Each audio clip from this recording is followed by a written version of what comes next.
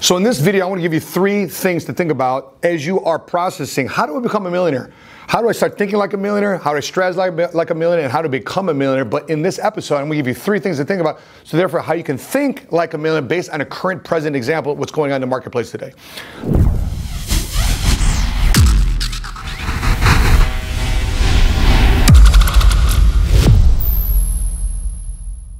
Let's take a look at this company called Zoom.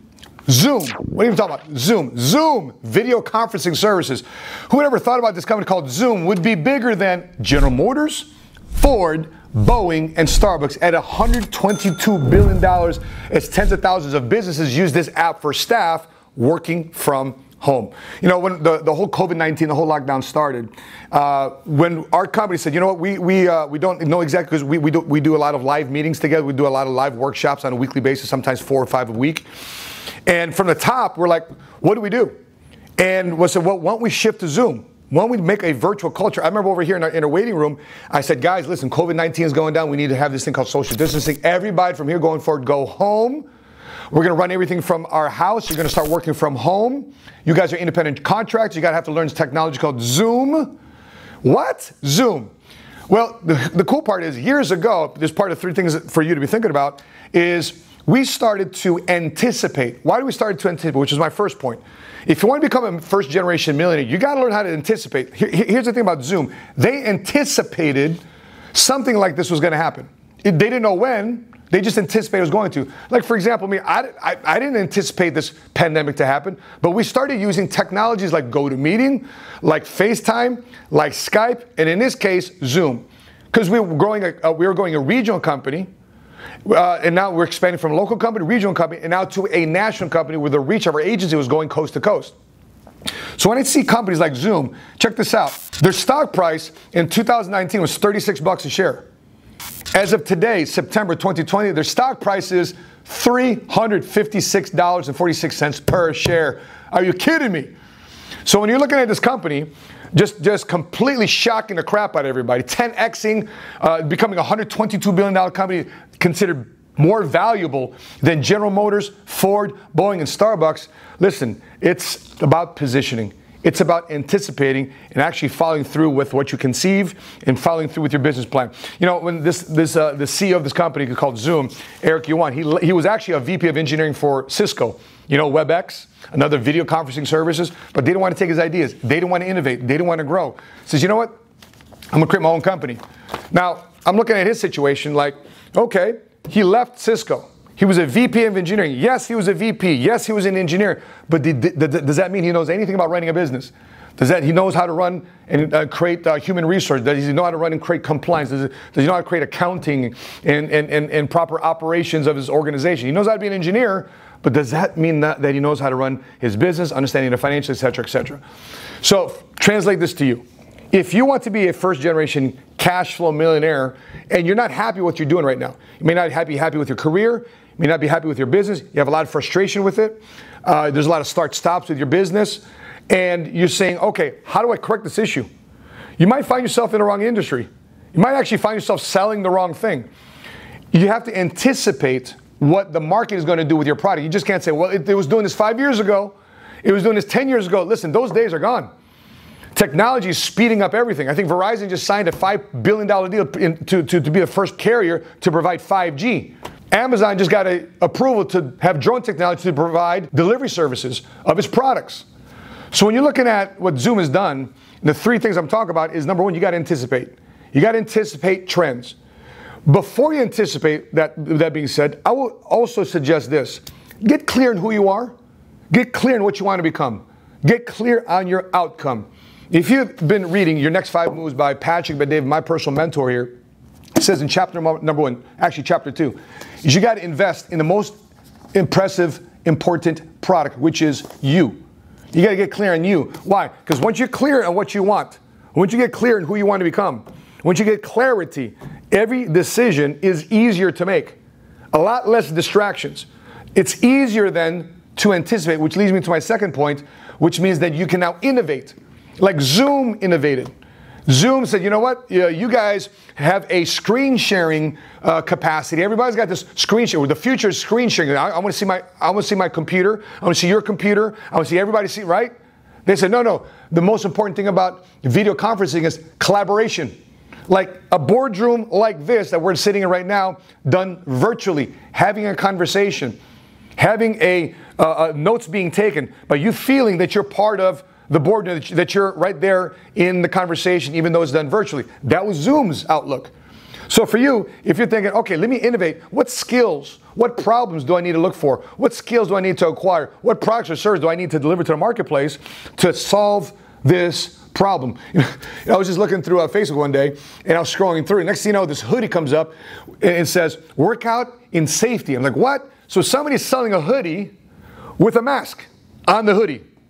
See, they're innovating, they're growing. They see what's going on in the marketplace. They created a product, a, a hoodie with a mask on it. So, how many times have you ever gone to the grocery store and you keep forgetting your mask? Because it's the new normal, right? We just went to the grocery store this afternoon to get some lunch. One of my guys says, "Oh, I forgot my mask." Why? Because it's not, uh, an, an, an, it's not a habit that's developed yet. So if you're looking at innovating, you're looking at anticipation, you're looking at a product or a service that you want to deliver to the marketplace to help you become a first generation cash flow millionaire that you can sell, that you can be a part of, You've got to innovate.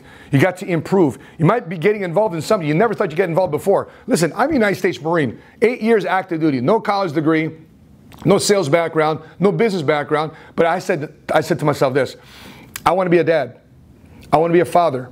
I want to be there for my kids. I want to be there for the martial arts. I want to be there for their cheerleading. I want to be involved in their schools. I want to see the track practice. I want to see the football games. I want to be part of that. So, how do I create a career? How do I build a career or business that's going to allow me to have my family involved in my career or business?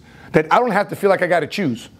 It's not about balance. It, for me, it's about integration. How do I integrate family? How to integrate business all together? We can enjoy this thing, this thing called life, as we anticipate uh, uh, growing up the, the, the, the, the, the proms, the homecomings, the dances, the activities. Those are things I anticipate. And along the way, I get to innovate, I get to adapt. And number three is I need to now operate. So anticipate, innovate, operate. I got to follow through. I got to make sure I'm hitting the gas. It's just not a pretty plan that you draw up because I, I see so many people out there with so many great plans and ideas and thoughts, but they never execute. So many people read books, they go to trainings, they watch YouTube videos, but they never execute. They never operate. They never install what they're downloading. So when you're when you're seeing um, when you're seeing the, the, the marketplace saying your job is no longer essential. Your job is no longer necessary. Your industry is contracting. I was doing a Zoom call on Sunday. I was doing a mentoring group, and I asked everybody on there, how many of you, whether you're uh, uh whatever, whether you're in airlines, the hotel industry, medical, I have even medical people saying they're getting laid off. People in the medical field are getting laid off. You know what they're saying? Yeah, because nobody's doing surgeries right now. Nobody's doing medical procedures right now. Everything's right now all on COVID. And for a lot of hospitals and medical centers and doctors groups, COVID is not a moneymaker. Surgeries are, other areas of healthcare are. And so they're actually having to lay off medical workers. Teachers are afraid to teach because they're afraid to get COVID from the kids and the families are coming in. So they're having to potentially find a different way to teach or a completely different career or business to get involved and make money and to pursue the dreams and the goals of what they want to be, especially when you're watching this YouTube channel, how to be a first generation cash flow millionaire. Something to be thinking about. So as I wrap up, and you say, you know what, Matt? Uh, uh, I, uh, I got a job, I got a career, I got a business. Great. But is it going to be around a year from now? Is it going to be around five years from now? Is it going to be around 10 years from now? Do you got to pour all this money into marketing and advertising just to get the word out, just so somebody buys your product because it's not a natural word of mouth type of product or service? That you have so many people competing in the marketplace is so dang unpopular that for you to rise up and stand about everybody else is so difficult? Or can you anticipate that?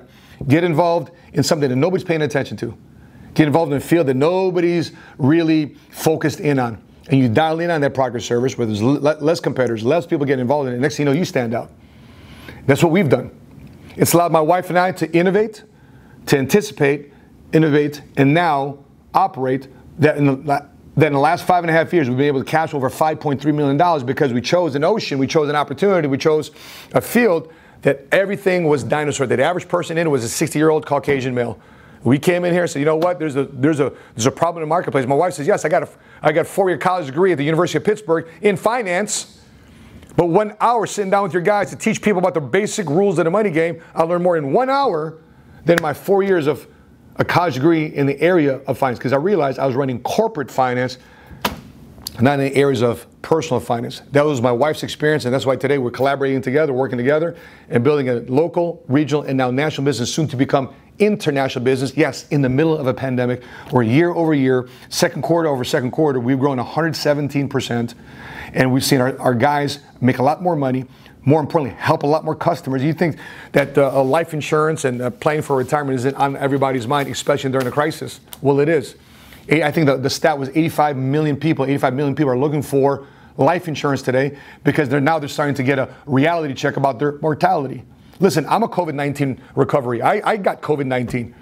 In the middle of me getting COVID 19, I realized, holy moly, is this gonna, you know, is this gonna do do its worst to me? I was thinking about it. I said, you know what? I'm gonna fight through this, and I, I can only think about the other people that went through it too, because everybody's got different experiences in terms of the depth of it. Guys, I kicked its tail, the symptoms off in three days. Many people weren't so fortunate. So when I'm thinking about anticipating, innovating, you got to figure out if you're in a career right now, you're in a business right now, even though you're making money right now, is it going to be around in its current form profitably? And does it is going to have a lot of career options five years from now, 10 years from now? If not, then you got to make moves. That's part of anticipation and it's part of you innovating. And now after that, now you got to operate and make moves going forward. I love know your thoughts. I love know the feedback. I love know what you're thinking. What are you anticipating? What are you innovating? And how are you going to operate from this pandemic going forward? Because right now we have so many things going on. The biggest thing, the biggest clarity that you need to make right now in this in this moment, because I said it 10 years ago, that the seeds of greatness, that the seeds of the future multimillionaires are being born and planted today. You want to see it manifest a year from now, you want to see it manifest in five years from now, but pretty soon you can start seeing it bear fruit. But you got to plant the seeds beginning now. Let them know what you're doing. Before you sign off, I want you to watch this video and how I made my money through the recession.